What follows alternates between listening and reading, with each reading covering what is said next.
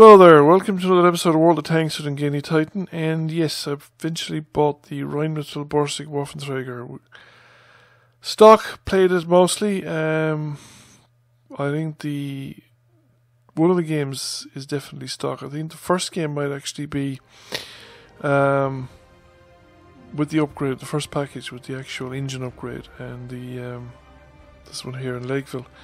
But the one on Prokhorovka is with the original um, package, and it's kind of a good news, bad news tank. If well, you've been already playing the Nashorn and the Sturm Emil, and the Sturm Emil is slow and it's very limited gun arc and it's not very stealthy or loses stealth a lot because you have to move the whole tank and it's quite a large tank. This thing is much more stealthier, but it is slow. It's not quite as slow. Stock it's marginally better, say, than the Sturm Emil, but uh, probably worse going uphill. But it's um, a bit better after you get the upgrade. Uh, really adds to the power of the engine. And you get a much, much better tank. However, it's still slow by anybody's um, reckoning. And it's one thing that I have noticed over the years of watching people at the end of games when you'd move on to other players and you'd see somebody in a Borsig and they'd be inclined to reverse into their firing positions. Um, you'd see it in games where people are playing in a Borsig and they reverse into their firing positions. Well, you do not want to be reversing out of a firing positions compromised. Um, it's that bad. So, generally, you can reverse into a firing position undetected. You're hidden. You they don't know where you are. The gun has a very big boom. You look at the um, the firing. Um, what do you call it? The extension of the gun with firing when you fire, and I have muffled shot on this crew. Um, it it gives away a lot of positions. So you do want to be able to move back into cover uh, when you fire. You've got to be aware of the fact that if they're anywhere close at all, as in probably less than 300 meters, there is a chance they'll spot you with the gun when the gun fires. Um, so that is one of the problems. The tank is slow. Um, the other thing is it's got very poor gun depression because it's a very low profile tank. View range actually isn't bad considering that it's a low profile tank. Um, it's not terrible. But you won't be self spotting in the way that you'd be self spotting in a Hellcat or a even the other, uh, even the slower American uh, tank destroyers like the, the T-25-2, the um, Jackson or the Wolverine or the British Achilles. They all have reasonable spotting ranges. Even the Challenger has a reasonable spotting range. Um, it's not a very stealthy tank, but it has a reasonable spotting range. And if you have a good crew, good stealth crew on a Challenger, you can safely pop away um, with the enemy not being too far away. If you're set up camouflage net, binoculars, whatever, and you're in reasonable cover. And you can pop away without any much chance of being discovered. Whereas this thing, once you start getting close, there's a decent chance that you'll get discovered. And you, but once you're not shooting, you won't be spotted. Um, that's the thing. So you can move back into the firing position willy nilly, or at least as often as you want, unless they start uh, putting rounds through your cover deliberately and keep at it. But in case you'll just have to wait until they stop putting rounds through your cover. The other problem, because it's slow, is that if you misread a battle, especially if your team are doing really well and they kind of ruffle stomping the enemy, you could have trouble catching up uh, or uh, relocating to a better location. Also, because the tank is slow, if you feel that this position is untenable and you need to relocate, relocate. Relocate straight away. Don't hesitate any longer. Preferably do it yesterday. Um, other tanks you can think about it, but not with this, because if you're caught in the move, you won't get anywhere in a hurry. You won't get out of sight in a hurry. Um, if you're too close, you would say, or if you leave it too late. Turret rotation is abysmal. Um, this thing will spin on the tracks using track traverse faster than the horizontal stabilization keep up. So you can do a 180 on this and your turret will be pointing backwards trying to track back to its uh, camera location. Um, I suspect that players who get really good at brawling in this thing just lock the um, gun into position and actually rotate the um, the entire chassis to get the gun to bear and then just use the turret rotation for the final lay on of the gun. And they learned how to do that and learned how to cope with that, uh, which is amazing. And I don't think I'd be able to manage it. I mean, I've seen people brawl with this tank. I have brawled with people in this tank in light and medium tanks, and had a challenging time doing it. So the people who can do it can do it. Uh, it can be done. I just don't think I'd be the one to do it. But and if you get a hit from this gun, you'll sit up and pay attention because it does for 490 average damage, and it pretty much does it. Um, I have been doing, I think, in my recent vehicle stats, over 1100 damage on average. Um, I've probably less than 30 games, maybe less than 40 games, definitely, which means I barely know the tank. The flip side, though, is that when you do get to know the tank, when you get to, to, to know the ins and outs and what you can and cannot do with this tank, when you have good games, you'll have great games because it only takes three penetrating hits with a 12.8 centimeter gun to get fire effect. The tank only has 1100 hit points. It has no armor to speak of. That said, I have bounced shots off the ass of this thing uh, while I was scurrying to cover. But for practical purposes, um, the armor is non-existent. The gun shield is definitely, I think it's like 10 millimeters, maybe 20 millimeters. I don't know if you would even stop small arms fire. Um, I think I've met people who put their fists through 20 millimeters of steel. But, and however, the um, the gun is pretty good. Um, now I've had, I wouldn't snapshot it. Um, it, I think it tends to point to places that, um, like above the armor skirts, the horizontal bit that sticks out over the top of the, the armor tracks in the tank.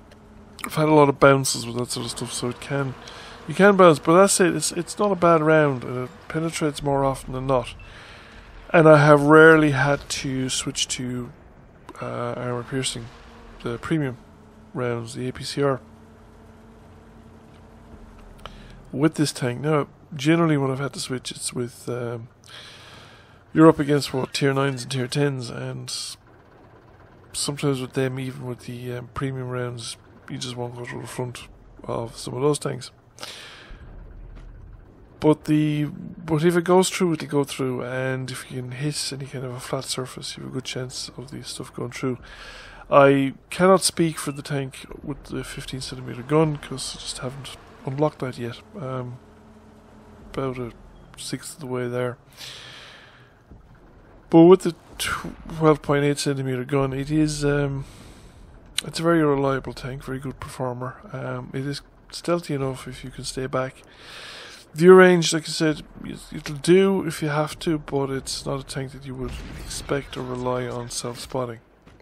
Uh, it may have been different when I joined up first, because I know a lot of tank destroyers had much better view ranges than they do now.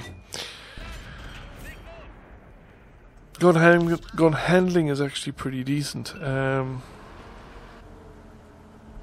does lack gun depression, does lack gun elevation, that's the one thing, and the turret traverse is the other problem. But you can one shot rely like tracks, stuff like that. So tracking shots are probably worth if anyone's coming near you, it's probably the best thing to do is to try and track them.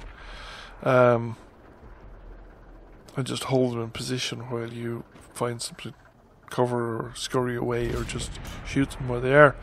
Keep them tracked if you can and just uh, finish them off where they are. But this game here will show the thing about this tank that uh, what I think will make it um, give it a place to my heart is that when you have a good game, you tend to have a really good game. Um, you can have good games on other tank destroyers. Like my pr- principal experience would be with the um, the American and British tank destroyers, would they have rapid firing, good penetration guns? You could have good games with the Russian tank destroyers, but they had very high alpha and they're very trollish guns. They may or may not choose to hit the target you're aiming at. And you don't get a lot of shots off because they're very long um, reloads. The 12.8 has a decent reload. Now I don't know about the the 150, but the thing is, the 150's alpha is huge. You're talking about um, 750, I think, average damage, which is well, it's up there with the, I suppose, the ISU 152, but this has got a better round. Um, it's with better ammunition, more reliable ammunition that will penetrate more often, and a more reliable performing gun. Now I don't know about the 150, but this gun is a more reliable performing gun than anything on a Russian um, tank destroyer that I've come across, at least of the SU line. Um, tank destroyers. I haven't tried the other the the SU 100, SU 152, ISU 152 of that line of tanks. I haven't tried the other line with the fast firing uh, guns. But this has advantages over those. It's a turreted tank destroyer with a very effective gun. And when it has the final gun, it will have be a turreted tank destroyer with a very powerful uh, gun, and um, probably still got better gun handling. But it has got statistically, got better gun handling than anything else. Say that the Russians would have, uh, but it does comparable amounts of damage. So, like I said, on the day when you have a good game, you'll have uh, you could potentially have awesome games, and you can do um, serious amounts of damage. The this game, I think I finished up with over 4k damage um, in sort of 11 penetrating shots. You will undoubtedly have games that are going to be better than this, where you get 12, 13, 16 penetrating shots. So, damaging games with 7 or 8k damage, 10k damage, was not out of bounds, I think, for uh, even for average players with this particular tank destroyer. Um,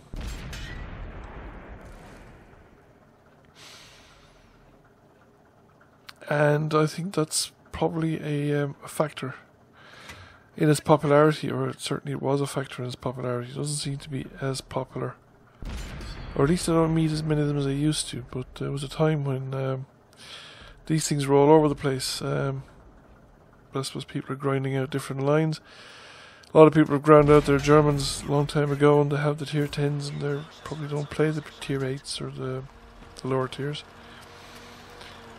But you see the Waffenträger Panzer IV out often enough. Um, more so than the Borsig, I think. But yes, it's um, it's definitely a bit of an eye opener to play. It. It's a different style to anything I've played before. Um,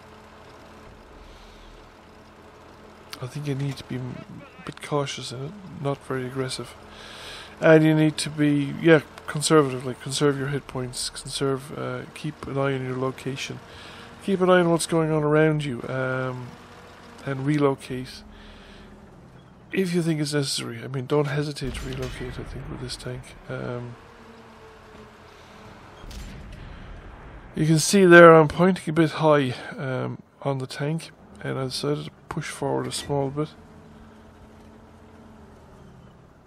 and then get the gun lower because I needed to change the terrain. Now the shot, the round fell short. Short. Anyway, it fell below what I um, where the pip was. and fell below by a good um, proportion. That can happen when it's, you're ship blind firing. Your um, dispersion seems to get a lot worse when you don't have a real target at the end of the pip.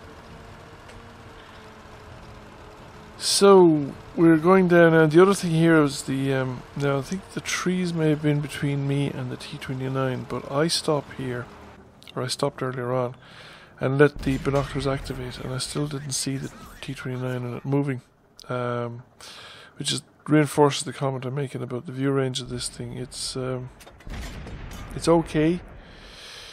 It's not a problem, but it's not a tank where you're going to be um, exploiting view range advantage to a huge extent. So far, I think actually the line is fun. Um, the low tier versions are really good. It lags a bit in the middle. Um, I actually think the um, the tier five, the tier six, the Nashorn and the Panzer, whatever it is, SFL, uh, are the worst because I don't know. Uh, they seem to be the worst. The Nashorn isn't that terrible when you get the top gun, but the lower guns it's, it's very poor. Uh, they, again, it's affected by mobility and stuff like that as well. The Sturm Emil with the top gun actually isn't too bad as long as you just stay back, stay behind hills. Um, again, you may not have exciting games in it, and I don't think you'll carry your team or you won't have necessarily a high win rate. But you'll do your fire for effect generally reasonably reliably in it, and I suppose good players will have uh, carry their team and have a positive win rate with it and all that sort of stuff. So thank you for watching. I hope you enjoyed the video. If you did, please give it a like and share. If you have not already done so, please subscribe to the channel. I'll catch you all again soon. Bye for now.